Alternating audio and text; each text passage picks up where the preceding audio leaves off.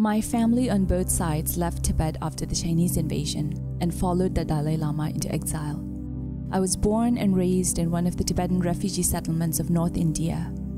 As a function of growing up in an exile community trying to reroot itself into foreign soil, we were cut off from our historical past, from our historical literature and culture.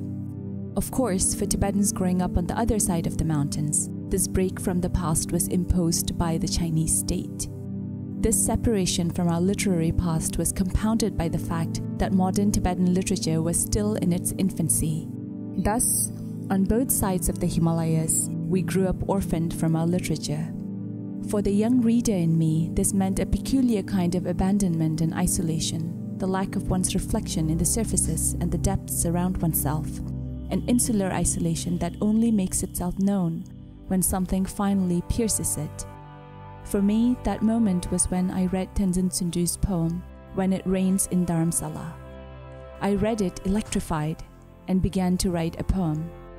It was not just that I knew the rain in Dharamsala, it was that I knew Tsundue, and he was just like me. I had always been a reader, but that was the first time I thought maybe I could be a writer as well. There are many Tibetan writers now, their works fill our shelves, and their words echo our lives. These writers come from Tibet and from all over the world, and they write in multiple languages. They write memoirs, novels, essays, poems, but whatever else they do, they also write short stories.